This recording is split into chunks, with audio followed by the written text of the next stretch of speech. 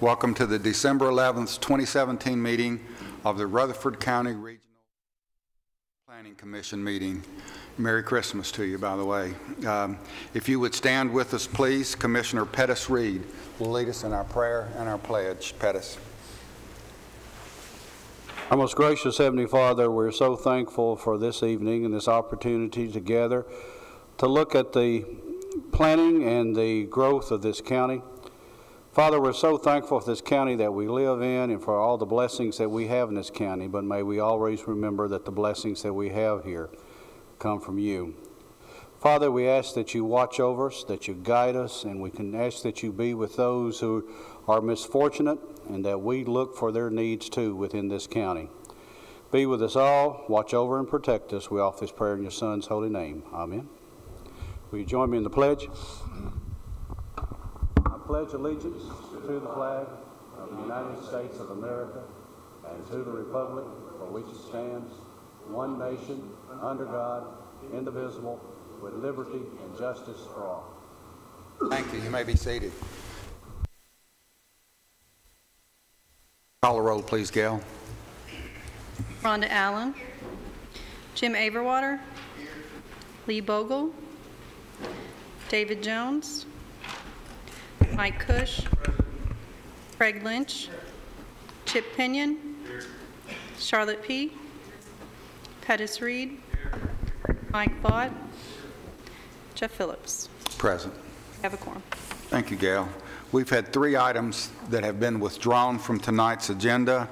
6A1, a final plat, 17-2081 Gerwick subdivision, 6A3, 17-2094 Javier Olvera line shift, 6A6, 17-2098 FJB Limited Partnership. Those items have been withdrawn and will not be heard tonight.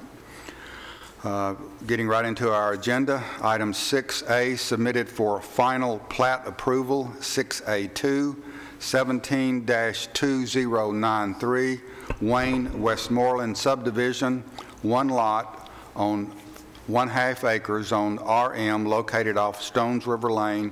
Wayne Westmoreland is the applicant. This includes a waiver for off-site soils. Doug? Yes, Mr. Chairman, thank you, and good evening, members of the commission.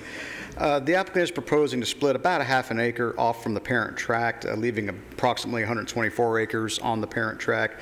Uh, Septic soils are shown on the subject property. Uh, There's also uh, additional soil which is being shown off-site, which is really why this plat is being brought to you tonight. Uh, They are requesting an off-site soils waiver, as you can see on your, both your iPads and on the screen before you. Uh, There wasn't just a whole lot of comments on this plat, just a couple of minor things. Uh, This plat really is in good order.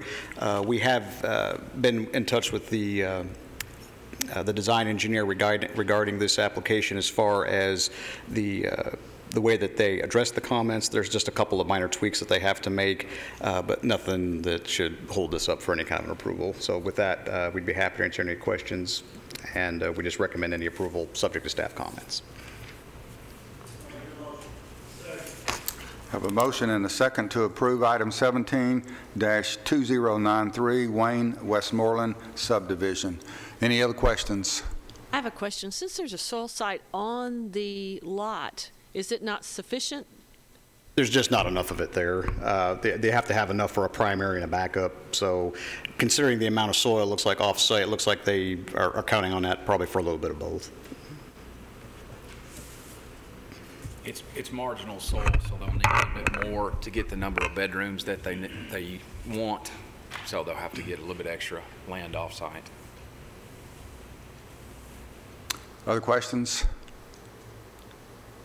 We have a motion and a second to approve. All those in favor of that motion, please say aye. Any opposition? Motion to approve carries. Thank you. Item 6A4, 17-2095, re-subdivision of Lot 2 on the Peter Baltimore subdivision, two lots on 4.67 acres on RM located off Deer Run Road. Kenneth and Lisa Baltimore are the applicants. Includes a waiver for our fire hydrant requirements. Doug? Yes, Mr. Chairman, thank you. Uh, As you stated, this property is located along Deer Run Road. Uh, The applicant is proposing to subdivide the subject property into two separate buildable lots. Uh, We did have uh, a number of comments on this. Uh, Most of them were more what I would call housekeeping in nature. After reviewing the changes that were made, this plat is in good order, and we'd recommend approval.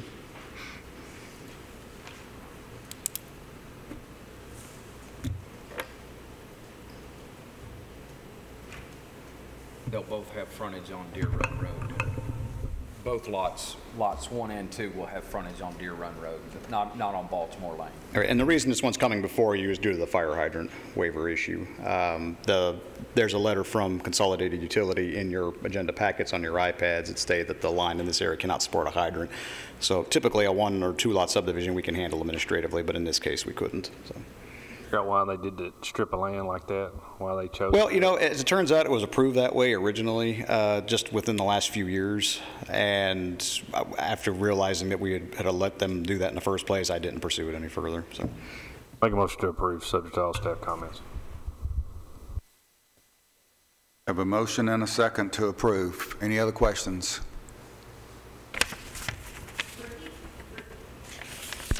I'm sorry, Doug, repeat the reason? Well, it was approved like that originally. I think at one time that was, uh, it's actually, there's part of an easement that, uh, that uh, accesses that tract in the back.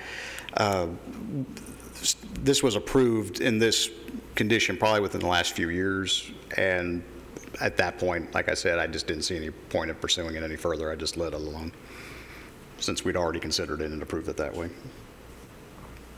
It's mainly taken up with utility lines, um, overhead power lines, and a- and an access easement, and we didn't see any need for moving it. Other questions? We have a motion and a second to approve 17-2095, re-subdivision of Lot 2 on Peter Baltimore uh, subdivision. All those in favor of that motion to approve, please say aye. Any opposition? Motion to approve carries. Thank you. Item 6A5, 17-2097, Bobby G. Smith subdivision, one lot on 1.82 acres zoned RM located off Lee Road. J.B. Burns LLC and Scott Butler are the applicants. Doug? Yes, Mr. Chairman, thank you. A portion of this property, uh, really the balance of the property, has been annexed into the town of Smyrna, which is the property really to the north of the, uh, uh, of the plat. You don't see all of it on there, but it's been annexed by the town of Smyrna. Uh, The applicant plans to subdivide this portion that's still in the county to build a home on. Uh, There's no waivers required of this plat. It's really just coming before you tonight due to the right-of-way dedication. Uh, We did have a a number of comments on this. Uh, It's difficult to see on the plat, but there's actually a, there was a little small strip in this area, kind of, I mean, uh, similar to what we were talking about in the last one. Uh, At one point, it was a separate parcel, uh, but as part of this plat, they're combining those two, and then the remaining portion in the back will be combined with the property that's in the town of Smyrna. Of course, that doesn't necessarily concern us, but uh, just to let you know what's, what's going on with that. Uh, I believe that property to the west there, or to the north of the subject property we're talking about, is slated for uh, the continuation of that subdivision, as I understand it. So uh, with that, the comments that we had have been addressed, and we feel the plat's in good order, and we'd recommend approval.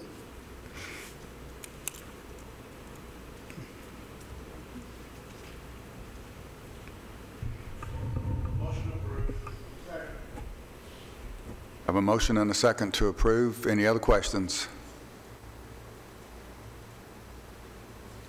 All those in favor of the motion to approve item 17-2097, please say aye.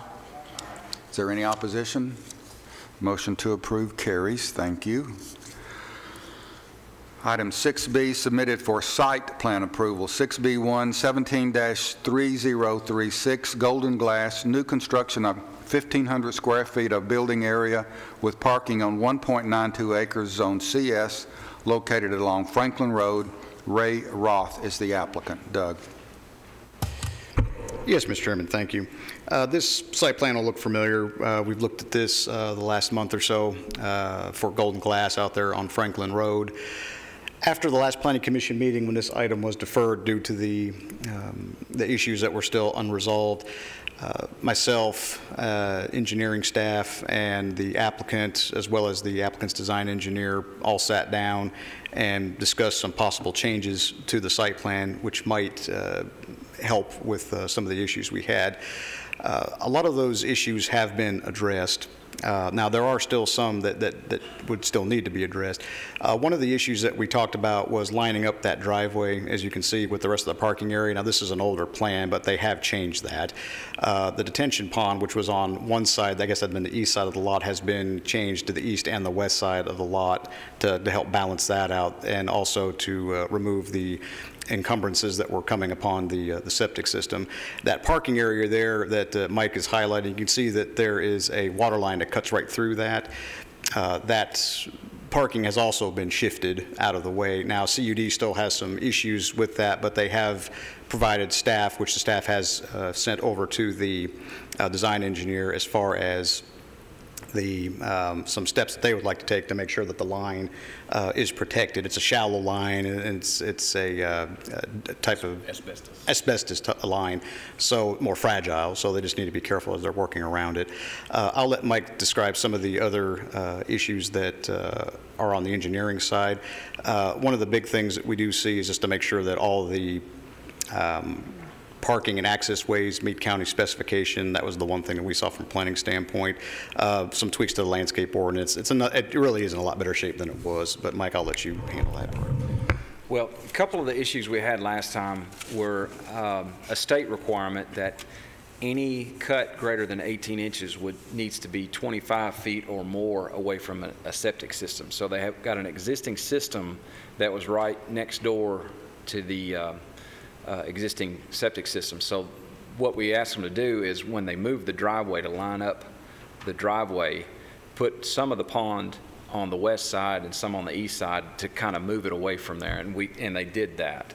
And then also, we asked them to reconfigure the parking um, away from the water line so they wouldn't have to worry about it. Eventually, this water line will be taken out of service. I think it's, uh, CUD's working, and uh, forgive me, Alan, if I misspeak, um, they're working on Phase One of replacing water line al- along 96, and this section will be called Phase Three, and it'll eventually be taken out of service. So a few years down the line, they won't have to worry about it, but right now, this is uh, a shallow, fragile line that they don't want to mess with, so we're, we asked them to move away from that. But in realigning this, reworking it, um, they got some of the parking a little too steep, especially the, the handicap parking, so they'll have to adjust that, do some tweaking on that, and some other massaging. But um, we feel comfortable to say that, yes, it's in, in good order, and we've got uh, some revisions here that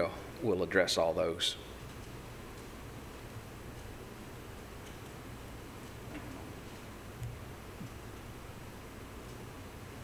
Questions?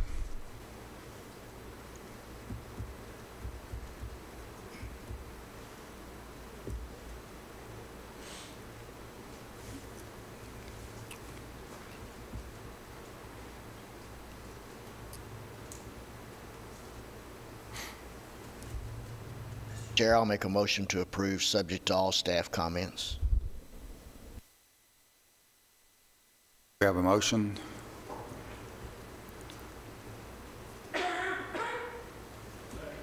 And a second. Thank you. Other questions or concerns?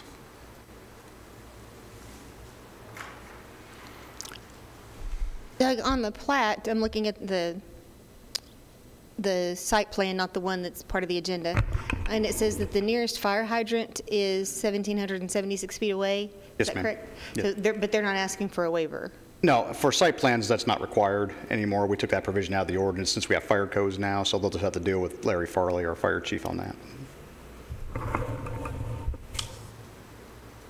Other questions? Ready to vote? Submitted for site plan approval, item 17 2021-3036 Golden Glass. All those in favor of that motion to approve, please say aye. Is there any opposition? The motion to approve carries. Thank you. 6B2, 17-3041, James Davis Property, new construction of 12,000 office warehouse space with parking on 2.84 acres, zoned EAC, located along Miller Road. James Davis is the applicant. Doug? Yes, Mr. Chairman, thank you. Uh, The applicant's proposing to construct an office and warehouse-type development to sell and store cables and wiring.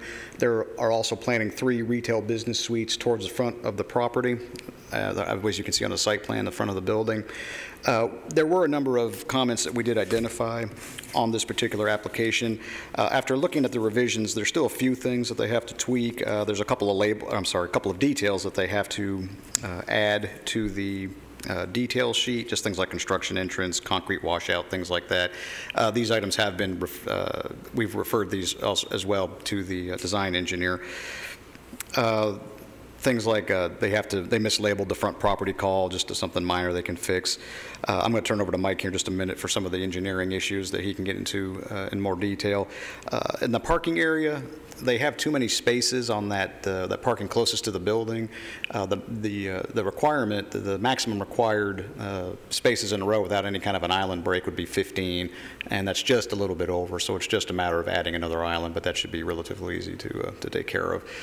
That, and then making the associated changes with the landscape plan. But besides that, I'll turn it over to Mike to let him talk about the engineering issues. They've, uh, one thing that they've, they've done in the, in the process, they did have doors on this south side of the building. They've added door in the back and extended the parking along this, this edge, this south side of the building. So they wanted to put gravel at first, but now they're going to put asphalt uh, back here. And one of my comments was, okay, you don't need all this vast expanse of, of asphalt right now, you need more room for your uh, detention pond. So I've asked them to shift the driveway up a little bit and to uh, eliminate a lot of this uh, parking, um, excuse me, pavement here. So um, this will be moved up and uh, this area in the back will be paved and will have curb. They will have a, a septic system, on-site septic system, that they should have plenty of soil for um, their retail shops up front and the warehouse. But that's something they'll have to work out with the state, is if, uh, the, the state will tell them how much uh, soil they have, how much water capacity, so that will limit what can go in these uh, retail shops up front. I don't, you know, I don't think they can have a big restaurant or anything like that, but um, it should be uh, sufficient to uh, for retail. But other, other than a few tweaking of the pond and uh, coordinating, you know, handicap ramps and things like that, it, the site's in pretty good order. Um, And just as a reminder, um, they can't pull a building permit, they can't move dirt until they've addressed all of our staff comments. So any outstanding issues, um, I won't give them a grading permit, and Doug won't stamp the plans so they can pull the building permit. So there's, there's some safety nets involved, and with- until everything's addressed, like this plan or other site plan, we, they don't move ahead. But with what they've got, it's, it- it's doable and, and pretty good working order. Wanda? Okay, so if those three spaces are retail and in the back is warehouse, have they talked about where deliveries are going to happen? Or if there's a loading area? That, that's one of our, they're gonna be drive-in doors in the back. Um, You're, you're talking about delivery for the, the retail Yes, shops? deliveries for the Okay. retail, yeah. There won't be a four-foot dock door or anything like that, so it'll have to be offloaded from a, uh truck with a lift gate or something like that. One of our comments was to show us a, uh truck turning template to see a truck get in here, turn around and come back out. So, and that'll be one thing that we'll need to see. They are adding a pretty good sizable area in the back, so a vehicle should be able to turn around and come back out. A fire truck, delivery truck, anything like that. This, this was the first iteration. It's kind of hard to, tell you what, how it's changed, evolved in the, in the review process, but um,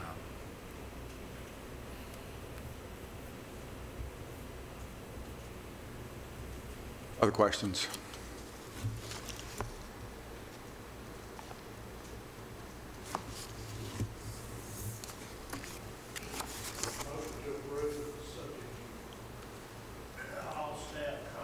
Thank you, Mike. We have a motion and a second. Any other discussion? All those in favor of the motion to approve site plan approval for item 17-3041, James Davis property, please say aye. Is there any opposition? That motion to approve carries. Thank you.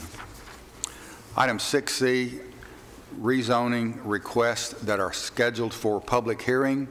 Item 6C1, 17-A031, Matthew Bratton. The location is 1619 Flat Rock Road. Commission district is 43,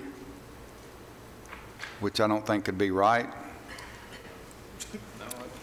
It's, uh... It should be four, I'm sorry. Commission District 4. Uh, County Commissioner is Robert Peay Jr. Size of the site is approximately seven acres. Tax map 90. Existing zoning is RM residential medium density, and the proposed zoning is for commercial services. Proposed um, zoning, once again, is for commercial services. Uh, Doug? Yes, Mr. Chairman, thank you. Uh, I will say, in my defense, I did get it right in the staff report. It's actually Commission District 4, not 43, so sorry about that.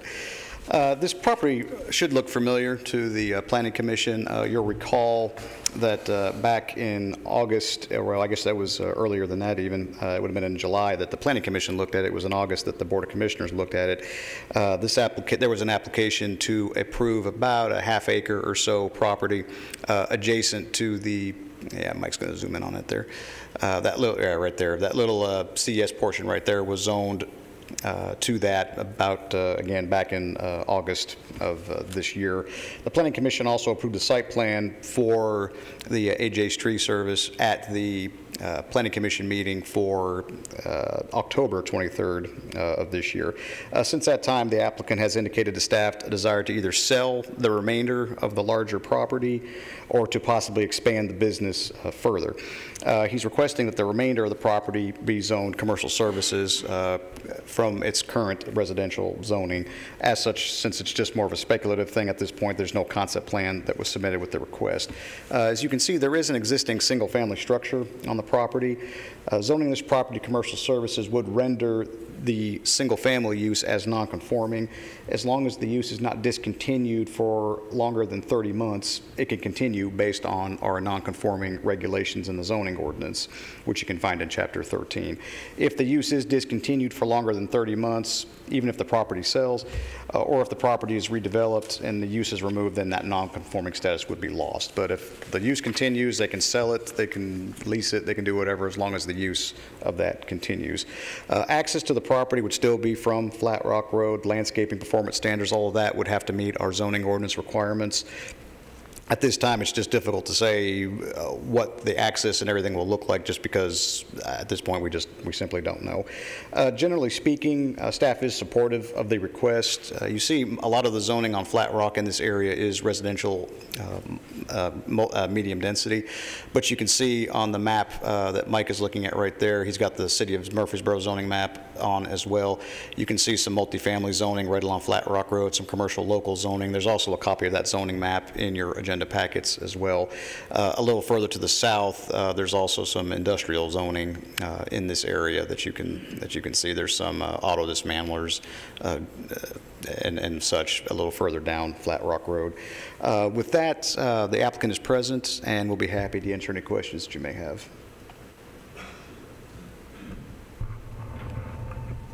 Questions at this time?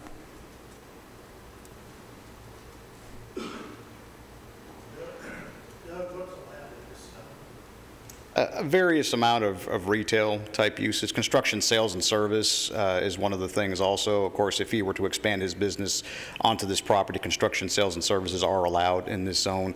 Uh, It wouldn't be allowed in, say, the commercial neighborhood zone, but is allowed in this one.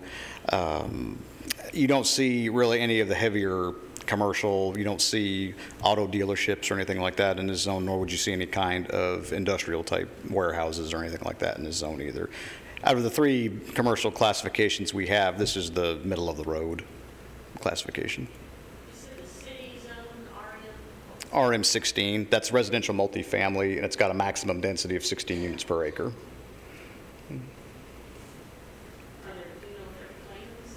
I'm not aware of any right now. I I think that's been zoned that way for quite some time.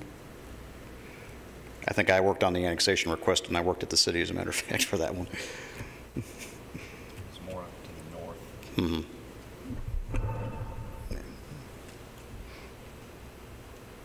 Other questions? Ready for our public hearing?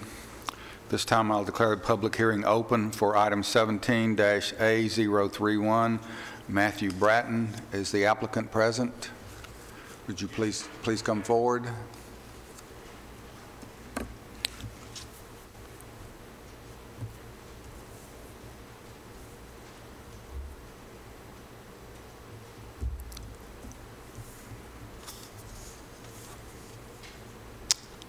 Evening.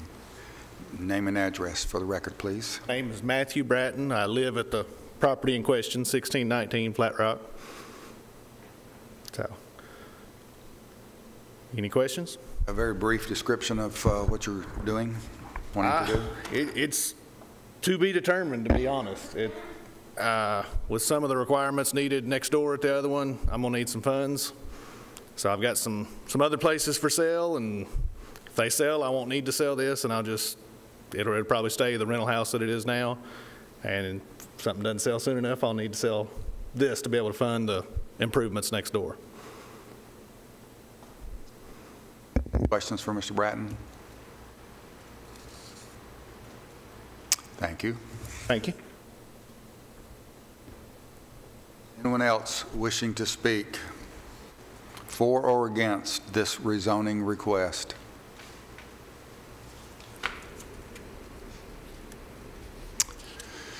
Seeing no one, I'll declare the public hearing closed.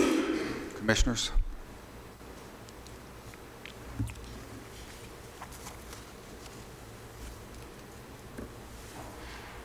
Any calls, or have you heard from, uh, I have not heard from Commissioner Peay about this, but at the same time, I hadn't received any phone calls about it one way or the other either.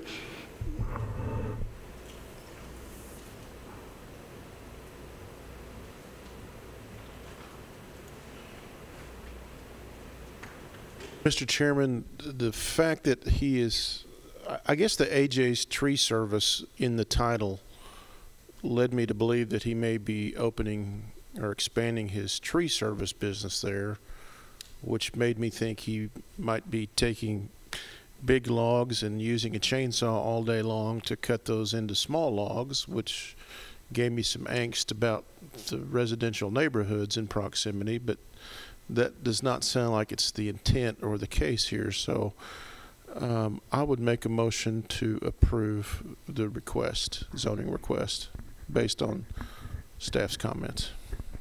Mike? Have a motion to approve? And a second. Thank you, Craig. Any other discussion? I have a question. Doug, is it a tree service or a plumbing service? I thought I read in the report, It was originally a plumbing service, but uh, that plumbing service is no longer there, and it's now the AJ's Tree Service. So it- the plumbing service left the, the prop, they sold it to the, um, to the applicant, the existing, the, uh, the property where the business was, that's now, that's now AJ's Tree Service. The plumbing business was uh, combined with another firm in town. personal comment than anything else. I, am just, I'm never comfortable, generally speaking, with speculative rezoning, um, and especially to go from an REM to a CS, which is very generous in its uses on this scale without having a more specific plan, I'm, I'm not comfortable with.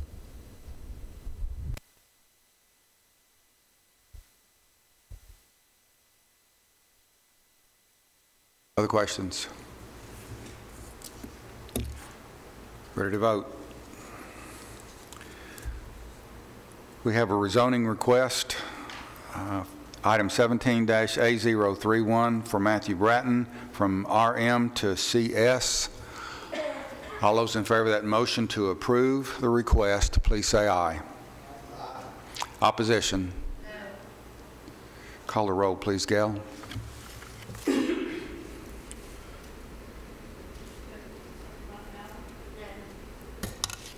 Jim Overwater? Yes. Mike Kusch? Yes. Craig Lynch? Yes. Chip Pinion? Yes. Charlotte P? Pettus Read? Yes. Mike Vaught? Jeff Phillips? Aye.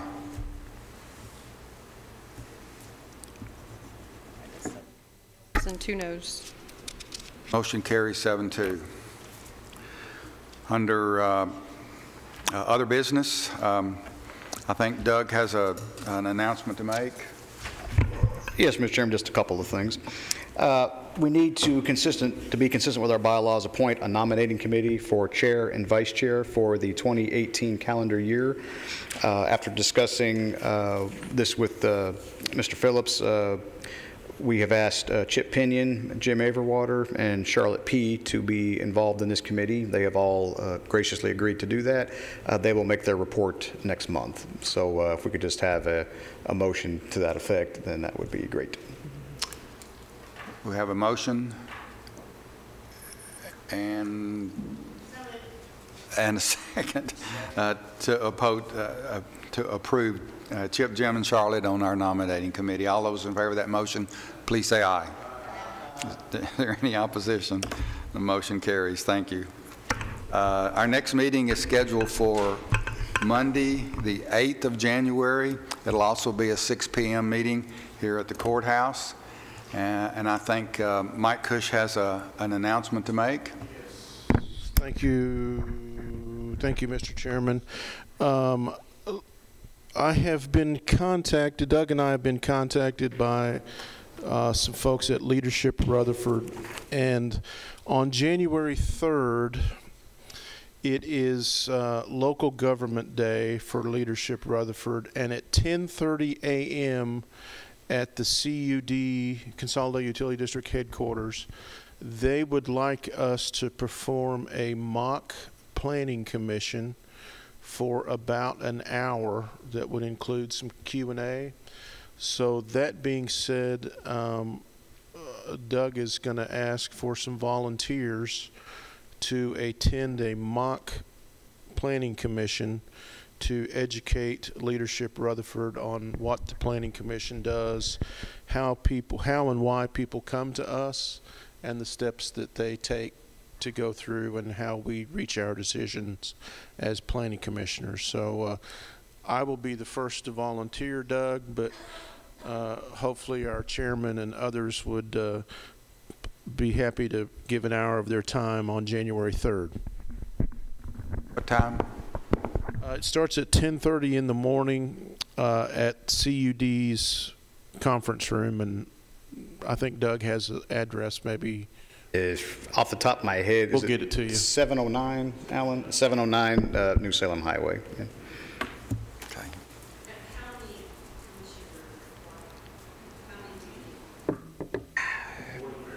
Yeah. I mean, I don't think all 11 of you have to be there, but, you know, five, seven, something like that would probably be, would be good. We don't want to be accused of having a meeting that's not a meeting, so, since it's just, just a mock thing, but, uh, yeah, five or seven, I think would be good. See, see Doug after the meeting if you can attend, or if you need time to think about it, call him uh, as soon as you can. Yeah, we'll send an email reminder out about this as well. If I could have the floor for a couple more things. Can. Okay, Thank you. Uh, Just um, part of our responsibility as staff is to make sure that you have the required four hours of training that uh, Public Chapter 862 requires. Uh, Most of you in here have gotten some of the hours in, some of you have gotten all of them. Uh, There is uh, a requirement for regional planning commissions that we do have to have an hour specifically on private property right training. Uh, To kind of kill two birds with one stone, uh, we're going to have a training in our office building in the mezzanine uh, next Tuesday, which would be the 19th. Uh, I've asked Josh to uh, make a uh, presentation regarding private property rights. Uh, We're going to have uh, someone from our engineering department, Ms. Katie P. She's going to be doing some, uh, uh, presenting some information on the uh, stormwater program and the things that we look at. And I'm trying to think of a third thing. I'd like to make it somewhere between 9 and 12, probably about three hours. So if there's some of you here that still need some hours, you can kind of, again, kill two birds with one stone. So we'll send a- an email out about that. Uh, I've also talked with our Cable 19 folks. We're going to go ahead and record it. It's not going to be for um, we're not going to televise it, but we will record it in case one of you or some of you can't make it. Uh, We'll be able to get you the, a copy of the DVD so that you can watch it, and then just let us know, and we'll make sure that you get checked down for your uh, training requirements. So uh, just want to let you know about that. Any questions on that? Next Tuesday, not tomorrow, but next Tuesday, the 19th, right. Uh, We'll start at 9 o'clock in the mezzanine. Uh, One last thing that I wanted just to chat with you about, and this is really just more for your information than anything. Uh, I placed a memorandum on your tables uh, prior to the meeting today. You'll see it's from Mike and myself. It's to the different engineering and surveying companies. Uh, We sent this out to a a variety of companies uh, a few weeks ago. You'll notice that uh, some of the issues that we've been having on plats and site plans about sometimes them not being quite ready to be at the planning commission level. You'll see our current deadline date and meeting date on the front page there. Right now, our review cycle is 17 days, essentially. It's 17 days prior to the daytime planning commission meeting. So that gives us 17 days from submittal to do our review, to get the comments out, get the agenda going, and, and all that. Then get the revisions back, make sure they're in decent order, and then bringing them to you at the planning commission. After discussing it with, uh, with Mike and, and staff, we feel it'd be desirable for both ourselves, staff, and also the design firms to have some additional time to review and revise the submitted projects. Uh, What I'd recommend you do is look on the back of that memo that I gave you. Uh, The front is, uh, it's a little bit different because of the holiday, so uh, a more representative example would be the table that you see on the back. Uh, Our submittal that, we're essentially extending it by about a- a couple weeks, really. Uh, Rather than just have the, the one submittal, the one review, and then comments are, are sent to the surveyor, engineer, and then revisions are sent back, you can see what we're doing is we're having the submittal deadline, then we're going to have initial review comments sent a week after that. Their initial resubmittal will be sent digital only to us a week after that, on the 13th, in February, if we're using that cycle. The second review comments, if any, since there shouldn't be as much to look at, because most of our comments sh- hopefully should be addressed, our second review comments would be sent three days after that, and then that final resubmittal would be submitted to us uh, really the normal time that it is right now, prior, uh, five days prior to the meeting, and then that planning commission meeting, you can see, would be February the 26th. We're hoping that this uh, extra cycle kind of uh, improves the quality of the plans, both for staff's standpoint and also for the uh, the design engineer, gives them a little more time to uh, address some of the comments that may be a little more uh, complex in nature. So uh, I just wanted to bring that to you all's attention. It's something that we're instituting with this next uh, uh, submittal deadline. Uh, This is really just for plats and plans. As far as those that come to the planning commission, we'll still handle administrative plats the same way we do now, or site plans the same way we do now. Uh, And rezonings uh, aren't applying to this, uh, or uh, do not apply, this won't apply to rezoning or BZA applications. So again, just, uh, just something for your information. If, We've gotten pretty good feedback. They've had some, some of the engineering firms have had some questions about it, just really more procedural type things, uh, but everybody seems, uh, seems comfortable with it so far. I hadn't received any, any real negative comments about it. So I just wanted to pass that along for your information. Once again, how did you establish the January 30th date? How will that date be every month? Well, we have a. Last uh, days of the month, or or what's? We, we essentially added about a week and a half to each deadline cycle is what we ended up doing. Uh, I mean, we did, there was no magic formula to come up with that. We were just trying to make sure, as you can see, everything's pretty much, almost everything's about a week apart is kind of what we're looking at. You know, from initial submittal to initial comments to initial resubmittal. There's a little bit of a, a shorter turnaround for the second review cycle, but uh, we're just trying to keep things moving forward at the same time as we're trying to give them a little more time to get the comments done. And quite frankly, as we go through this, and if we think it needs to be tweaked, we'll tweak it. So, uh, but we think this is going to be pretty workable at this point. Doug, do you publish this schedule for the entire year and give it to the firm so that they know? That way you've allowed for weekends, holidays, that sort of thing? Right, and actually, when I sent this memo out, uh, it was supposed to, that we also did a, um, we redid the application form that goes along with it, kind of simplified it and kind of combined it, so plats and plans all use the same form now, which they didn't before. And uh, a calendar went out with that as well. So they, they have the calendar and they have the memo along with the revised form. The revised form's also been made a fillable PDF. It's on our website, and I believe we uploaded the calendar as well. So it's, it's all out there for, for them to see. Correct. Yeah, rezonings, again, rezonings don't change any. Those, those deadlines are the same. Thank you, Doug. Anything else? Once again, uh, have a Merry Christmas and a happy holiday season. Uh, It's been a pleasure working with each and every one of you guys this year. Thank you for your participation, uh, your commitment to the county, uh, and once again, happy holidays. We're adjourned.